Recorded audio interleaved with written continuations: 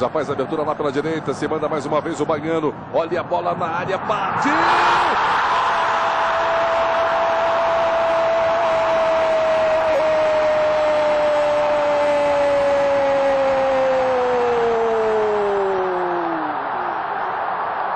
explodir